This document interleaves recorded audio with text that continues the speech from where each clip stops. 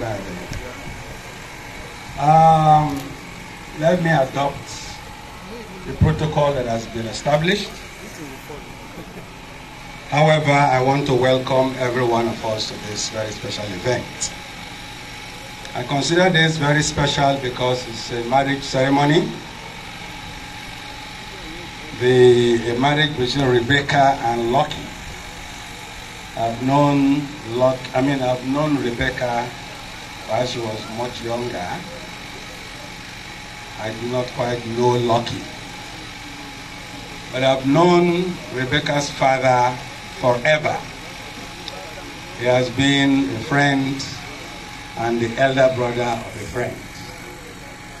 His contributions to the development of the Ijaw nation cannot be overemphasized. And so when he said I should be for this event, I felt I should drop everything and be here.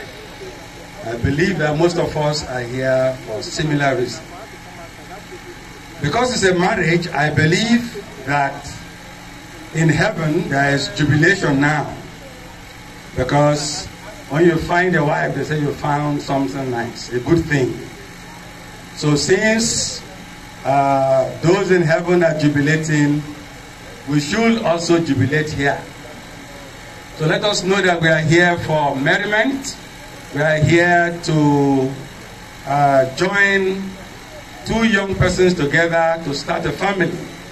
We are here to join two families together. We are here to join two uh, communities together.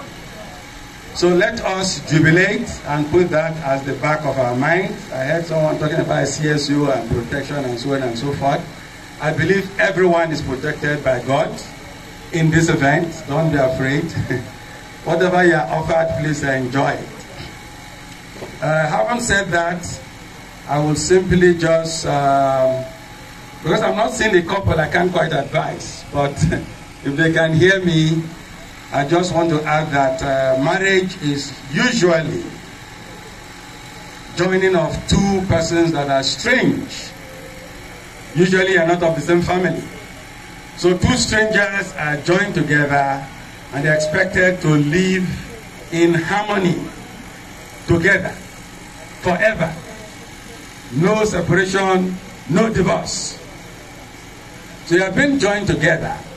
But the fact is that because you are two strangers, you are not expected to also have what is called a complete smooth sail.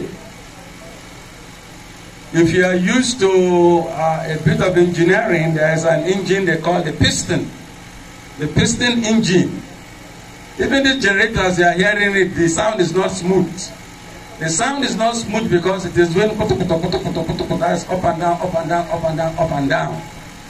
But it's that up and down that is making me to speak so clearly using that generator. It is the up and down that produce children. It is the up and down that produce a strong marriage. So ups and downs are normal in a marriage. You shouldn't run away because your marriage is seeming to go up or down. It is never constant. It's not going to be up forever. It's not going to be down forever. But in going up and down, it is generating energy. And that energy can be in the form of a child and another child and a set of twins and money and wealth and everything. And then 25 years later, you have silver jubilee. And 50 years later, you have golden jubilee of this marriage that you have started today. This is the advice for the couple and for those who are not married yet. If you are afraid of marriage, you don't need to be afraid. Marriages are usually like that. Even if they don't look very wonderful in the beginning, once you are committed to the marriage, after a few years it becomes a marriage of note. So that is the note on which I am going to declare this marriage open and let us continue the celebration. Magba Gberifa.